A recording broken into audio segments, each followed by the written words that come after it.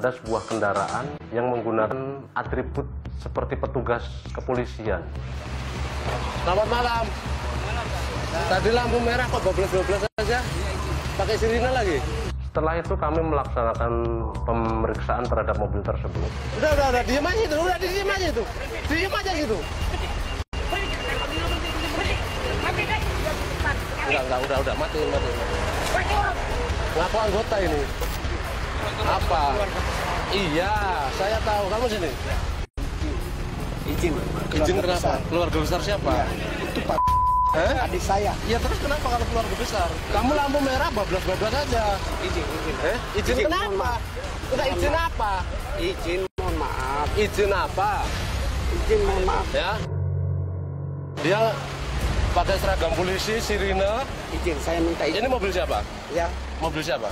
ini abang saya Lah orang dia bribda kok ngomong abangmu itu loh. yang itu yang ini Ini bribda loh. ini ini Umurnya jelas tuan kamu ngomong ini abangmu ada saya. Eh, ke mana? enggak ada saya Hah? ada saya Ini pakai atribut polisi semua lagi. Kamu lampu merah bablas-bablas aja. Polisinya ada. Enggak, polisinya ada. Lampu merahnya ada. ya maaf Terus salahnya di mana? Kamu saya minum. Sambil ber mabuk boleh? ya Boleh. ya izin. Apa kok izin terus? Apa karena kamu keluarga anggota? saya mau izin Iya, aku tanya dulu boleh nggak mabuk itu nyetir di jalan raya? kamu Loh, terus ya karena pulang posisi pulang.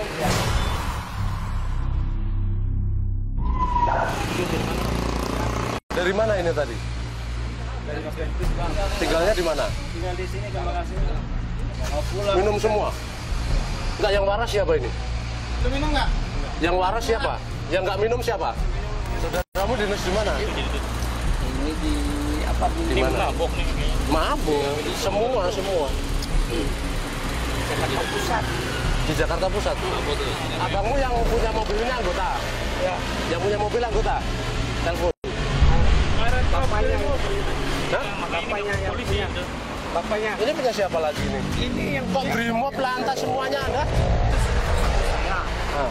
yang itu itu itu adik saya yang Bukan di mata masyarakat kamu pakai sirine dengan atribut polisi.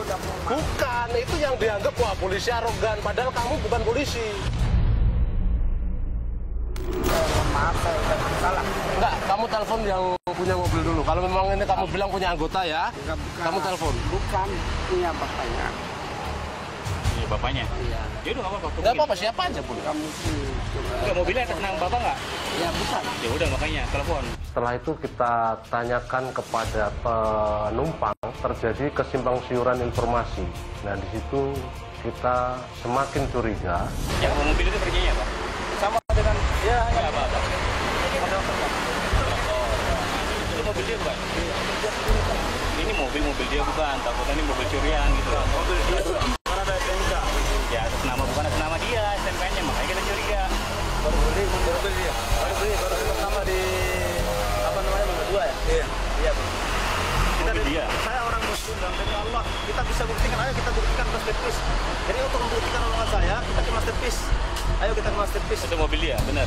Iya. Soalnya dia bilang bukan mobil dia, makanya tidak sinkron nih. Tadi dia bilang bukan. melihat kejanggalan-kejanggalan informasi dari penumpang maupun pengendara. Untuk itu kami akan melakukan pemeriksaan lebih lanjut terhadap pengendara dan mobil tersebut.